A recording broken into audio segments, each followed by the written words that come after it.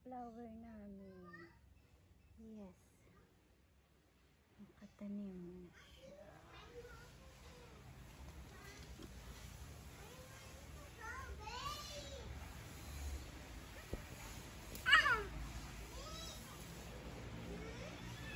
Bagong alaga namin. Ganda na. Dalawa pa lang yung bulaklak.